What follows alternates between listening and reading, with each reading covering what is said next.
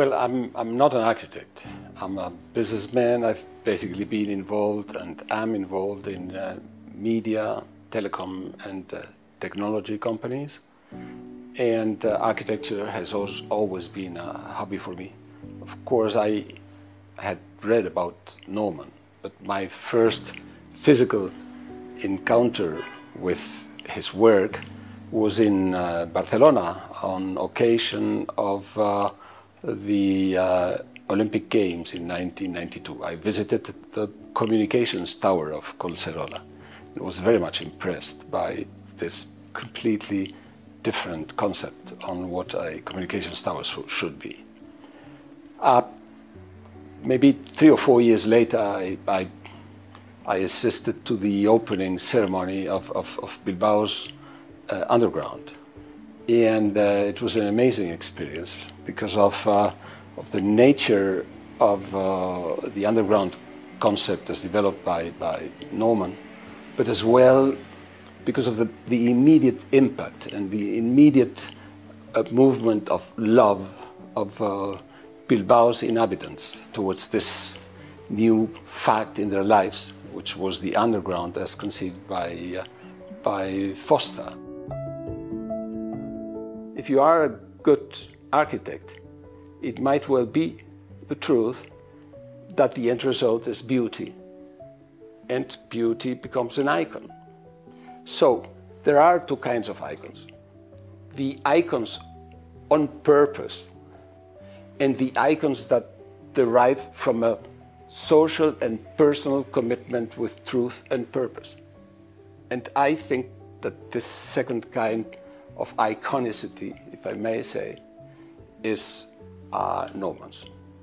What's great about Foster, and it's an interesting point about his uh, look at urbanism, is that uh, he is a he is a creator of space for freedom. He has a certain sense of um, giving a context where everyone and every different person can find its way.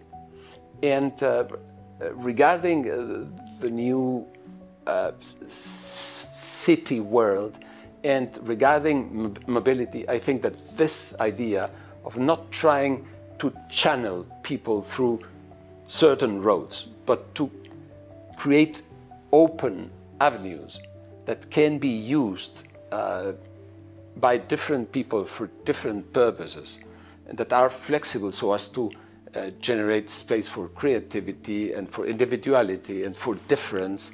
I, I, I would call Norman a neo-neoclassic somehow. Uh, he is a neoclassic insofar that, uh, and it's, it's maybe, uh, it's maybe uh, um, it can be shocking, but uh, if you go through his notebooks, uh, what he does there is not much different from what uh, Leonardo did when, when, when he was sketching flying objects and different instruments. It's, it's this kind of attitude. What I really like about Norman is where he starts from, which is what leads them to real architecture that eventually becomes iconic.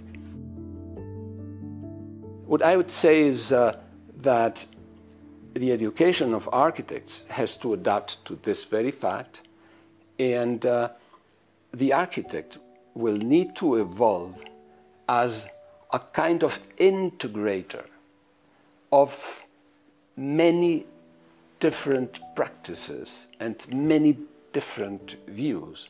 It's not anymore the isolated person that has an idea and designs an icon to get back to my previous comment. It's, it's, it's a person that knows about the purpose of his profession uh, and is, he, he, he becomes the vehicle whereby all sorts of different kind of knowledge can be integrated in a physical working solution.